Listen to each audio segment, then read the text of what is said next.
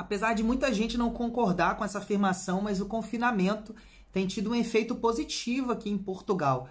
Os números do país têm caído cada vez mais e Portugal, do pior país da União Europeia, já ocupa o terceiro lugar como o melhor país em relação à incidência de casos. No vídeo de hoje, depois da vinheta, eu vou explicar tudinho para você quais são os números de Portugal atualmente e quais são as boas notícias que a gente tem aí para os próximos dias. Thiago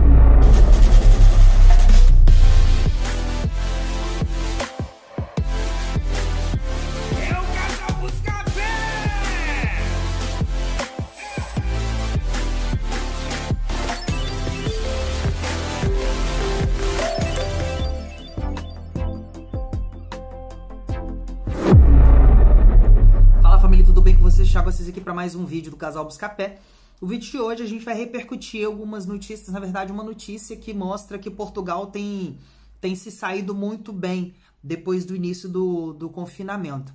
A verdade é que hoje à noite o primeiro-ministro ele já vai colocar em pauta, né, já vai divulgar uh, qual vai ser o, o, o, o plano de desconfinamento aí para os próximos dias mas é verídico de que Portugal tem se saído muito bem, os números têm caído cada vez mais.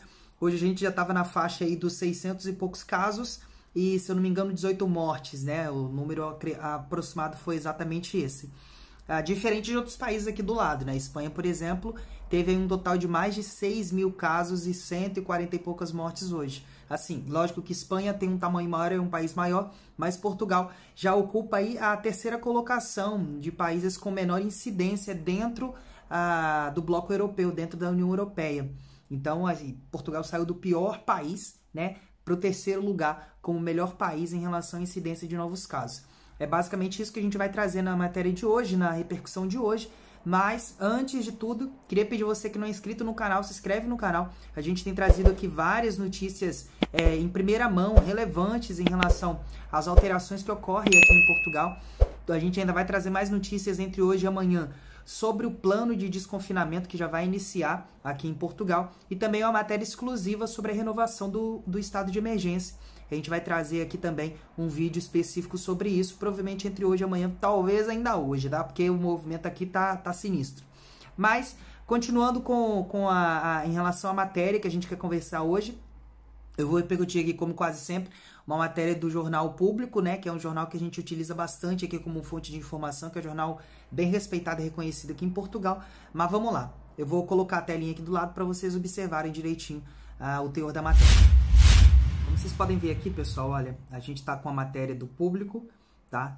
Ah, que diz aqui, em um mês, né, num mês, Portugal passou do pior a terceiro melhor país da União Europeia em casos da pandemia. Nos últimos, nos últimos 14 dias, Portugal registrou, ah, no caso, como eles dizem que registrou, né, uma média de 126 casos de, da pandemia por 100 mil habitantes. Eu não posso falar o nome da pandemia, tá? Segundo o relatório da ECDC, a, no caso, é, são as informações que lhe passaram. Há um mês, Portugal ocupava a pior posição na Europa, com a taxa de incidência de 1.190. Olha só a diferença na quantidade de casos que Portugal tinha há um mês atrás. Em um mês de confinamento, houve muito resultado. A verdade, pessoal, é que a gente não esconde que a questão do confinamento prejudica muito, muito as pessoas, principalmente os comerciantes, as pessoas que têm empresas. Muitas empresas, infelizmente, não vão voltar a abrir porque esse confinamento fez com que as pessoas ah, ah, não saíssem, né? Ficassem em casa. Consequentemente, as empresas que dependiam do público circulando foram muito prejudicadas. Isso é uma infelicidade, ah, mas que infelizmente vários países do mundo estão tendo que lidar com esse problema mais para baixo aqui. Portugal é atualmente o terceiro país da União Europeia com uma menor taxa de incidência uh, do vírus. De acordo com os dados mais recentes divulgados nessa quinta-feira, uh, 11 de março, né, no caso, pelo Centro Europeu de Controle de Doenças, que é o ECDC. Uh, ah, nos últimos 14 dias, Portugal registrou uma incidência de 126 casos de infecção pelo vírus, né, por 100 mil habitantes, segundo o relatório com números mais baixos da União Europeia, considerando apenas os 27 Estados-membros. A União Europeia constituída ali dos 27 Estados-membros, que são os 27 países que compõem o bloco europeu, tá? Estão apenas Espanha, é, com 15 casos por 100 mil habitantes e Dinamarca com 124 na frente de Portugal. Por isso que Portugal é o terceiro, porque em primeiro está a Espanha e em segundo está a Dinamarca. A Espanha com 15 casos por 100 mil habitantes e a Dinamarca com 124 casos por 100 mil habitantes. Lembrando, como eu falei no começo uh, da introdução, a Espanha, como é um país maior, hoje, por exemplo, é, quando Portugal registrou 600 e poucos casos, a Espanha registrou mais de 6 mil né, casos hoje. Ou seja, muito, muito, muito acima, mas quando calculado por 100 mil habitantes, a Espanha acaba ficando na frente e também esse é um cálculo dos últimos 14 dias, tá? Dos últimos 14 dias, que é o cálculo que eles utilizam para poder é, é, ter essa, essas taxas. Ah, no caso aqui tem algumas outras informações, eles falam sobre alguns outros países aqui, né? Mas basicamente a, a, a notícia em si era essa. Um pouco mais embaixo aqui, ele diz aqui, ó.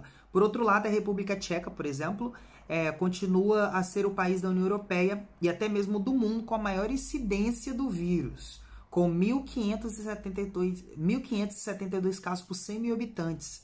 Seguem-se Estônia com 1.397, Malta com 720, Hungria com 646 e Eslováquia com 568. Lembrando, olha só que tem países que estão muito, muito acima, né? A gente tem aqui a República Tcheca com 1.572 casos, é, são muitos casos, tá? Que são outros países também. Ah, na, na verdade, a República Tcheca, como é dito ali, é um país do mundo, né? Tá na frente do mundo todo. Já no que diz respeito à Europa, Portugal assume a 13ª posição na lista de países com menor taxa de incidência.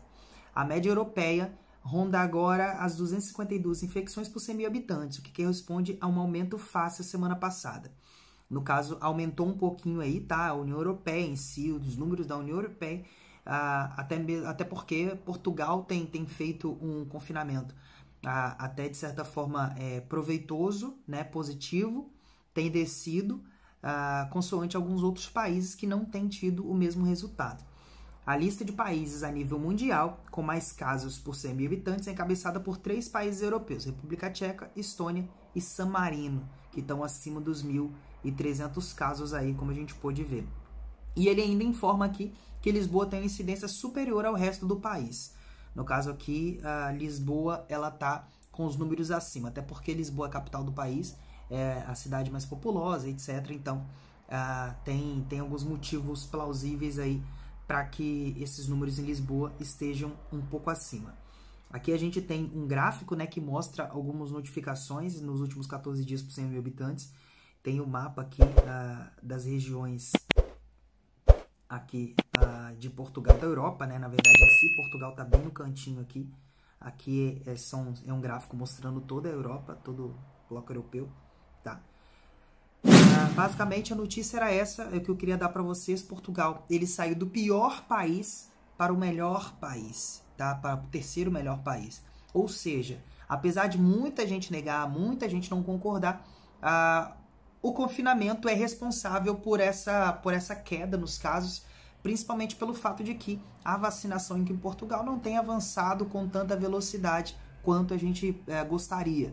A verdade é que aqui na União Europeia, devido a algumas falhas de algumas farmacêuticas, as farmacêuticas elas estão sobrecarregadas, se comprometeram em distribuir vacina, em, em entregar vacinas para vários países do mundo e elas estão tendo dificuldade em cumprir esses prazos. Então, a, a União Europeia, por exemplo, até bloqueou né, a saída de, de vacinas aqui da Europa para outros lugares para que não houvesse mais falha, uma falha maior na entrega do que foi prometido.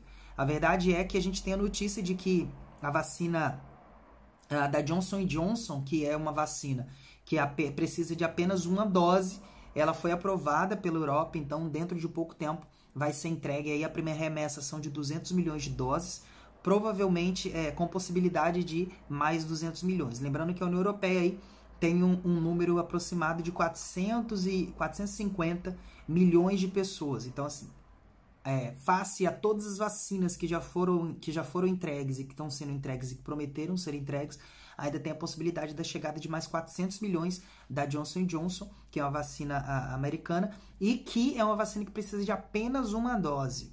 Ou seja, até a, o que é dito na, nas matérias relacionadas, que eu vou deixar na descrição aqui no link da, na, na, na descrição desse vídeo, ah, diz que até o final do primeiro trimestre, provavelmente meados de abril, esses primeiros 200 milhões vão ser entregues à União Europeia e Portugal aí ah, vai receber um total aí de inicialmente de um milhão e meio de vacinas que vão ser ah, aplicadas aqui aos portugueses. É uma vacina que precisa de apenas uma dose, então é uma vacina que está sendo muito desejada por todo mundo, tá? Basicamente as notícias eram essas, como eu falei no início. Ainda tem algumas notícias que a gente vai repercutir aqui com uma renovação do estado de emergência por mais 15 dias.